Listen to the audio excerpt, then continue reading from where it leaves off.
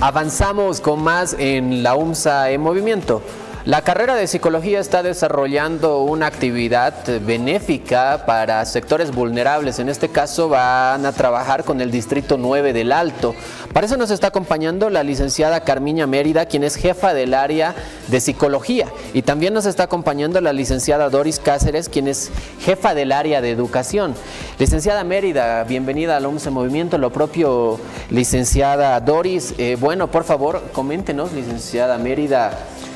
¿En qué consiste este evento, lo que están programando para este 18 de este mes? Claro que sí, muchas gracias, ¿no? Primeramente por la invitación. Eh, nosotros somos de la mm, Asociación Emilia Duartila, ¿no? Pertenecemos a esta asociación y estamos organizando este, eh, este evento que es eh, Regalando Alegría en Primavera que se va, nos está ayudando. Eh, tenemos la cooperación de la Universidad Mayor de San Andrés, de la carrera de Psicología, nosotros como asociación, la Asociación Emilia Bactili, también nos están asociando, nos están colaborando muchos grupos auspiciadores también para este acto, ¿no? que se va a desarrollar el 25 de octubre. ¿Cómo, este licenciado Doris, cómo ustedes llegan a concretar que la UMSA eh, trabaje de manera emanada con su asociación? Tenemos un convenio ya hace unos seis años más o menos, cinco años, con la carrera de psicología, con la, justo con la materia de, eh, de la licenciada Guamán. Y eh, entonces a los estudiantes les, les encanta ¿no? esta, esta coordinación e interacción que hacemos con las zonas vulnerables. Entonces, pero eh, esta actividad que es Regalando Alegría en Primavera se está haciendo recién hace tres años, tampoco se tiene mucho, mucho tiempo. En todo caso ha salido bien en, este, en estos últimos años y por eso ahora ya se está haciendo más, de manera más, eh, más activa, más grande. Licenciada Carmiña, si esto ya lo están desarrollando hace tres años, en anteriores versiones, ¿cómo les fue? Le comento ¿no? que nos fue bien.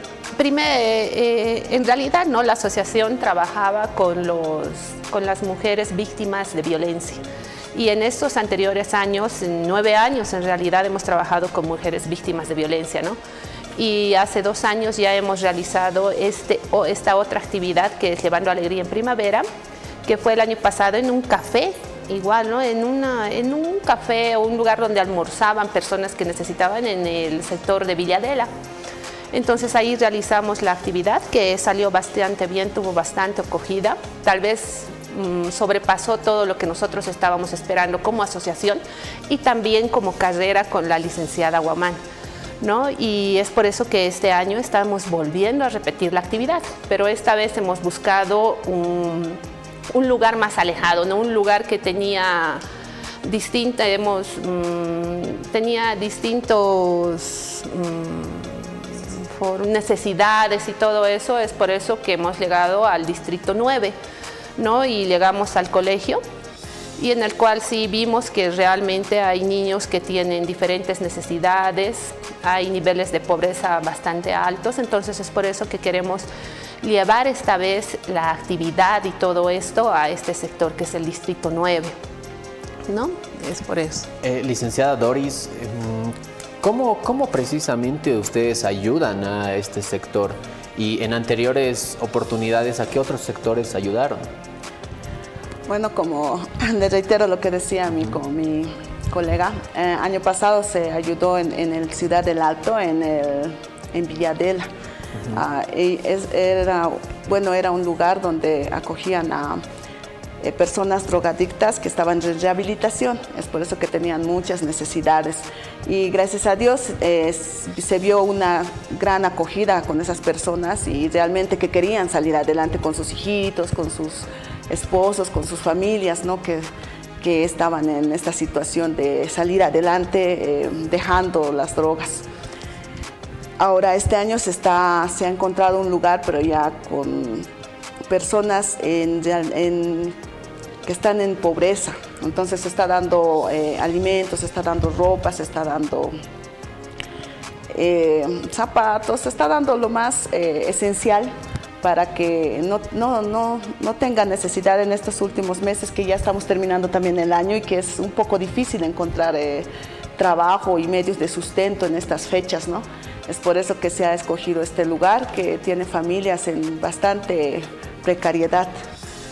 Y también se está haciendo, se, ha, hecho un estudio, ¿no? Primeramente para saber qué necesidades tienen y con, con eso ya tratar de sobrellevar con las con las donaciones que se está haciendo. Entonces, con ese, con ese, con ese sentido ya se está dando lo que ellos necesitan más, ¿no? Licenciada Carmiña, para este evento están buscando también personas que desarrollen sus habilidades artísticas. Sí, no, justamente esta es una forma también de apoyar este acto benéfico que estamos haciendo y estamos organizando para este 18 de este mes, que sería de este viernes al otro, una actividad que igual es un show benéfico que vamos a necesitar, como dices, un show artístico donde hay personas o tengamos personas que quieran apoyar esta, esta actividad, puedan venirnos a compartir, a darnos a hacer, si ellos son buenos en baile, si son buenos en canto, si hay stand-up, si hay todo tipo ¿no? de actividades artísticas, puedan venir también a apoyarnos con esto. ¿no? El show eh, se va a realizar en el Café EGNO, este viernes, ¿no? que, que este café queda en la calle Jaén. Directamente no con nosotros lo estamos realizando en este café porque es uno de nuestros auspiciadores, ¿no? que también nos está, nos está apoyando con esta campaña. Licenciada, precisamente, ¿cómo pueden hacer para inscribirse las personas que quieran participar y demostrar sus talentos? Claro que sí, tenemos eh, diferentes números en los cuales nos pueden llamar, se pueden contactar con nosotros, que están ahora pasando en la, el banner, el arte que está pasando. A estos números ustedes nos pueden llamar para las inscripciones.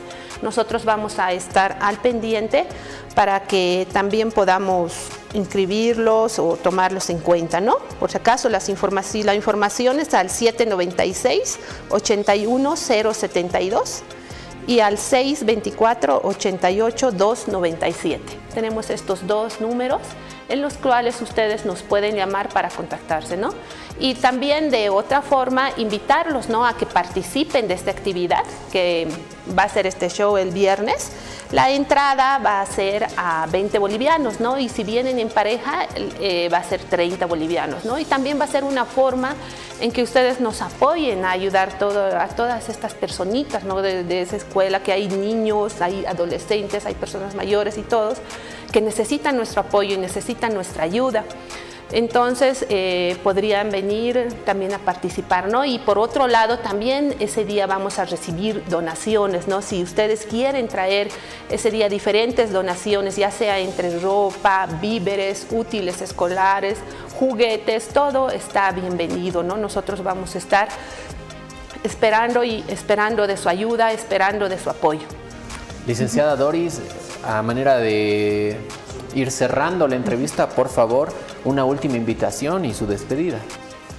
Bueno, les invitamos ¿no? a que participen de esta actividad que, que es más que todo para que nos abran ¿no? nuestra sensibilidad que todos tenemos, que apoyemos al prójimo y así también eh, aportar con un granito de, arena ¿no? para pasar en estos últimos eh, meses que nos queda del año y que estas familias puedan pasar por lo menos una, una, mejor Navidad tal vez, ¿no? con una buena comidita una, y una ropa abrigadora. Y entonces están invitados para que participen en esta actividad que se está haciendo la próxima semana, el 18, y las donaciones se entregarán el 28 de octubre. Licenciada Carmiña, licenciada Doris, muchísimas gracias primeramente por realizar este tipo de actividades en pro de nuestra sociedad y también por ser parte del OMS Movimiento. En futuras oportunidades cuentan con nosotros, el espacio es totalmente libre para ustedes y nosotros encantadísimos de poder recibirlas.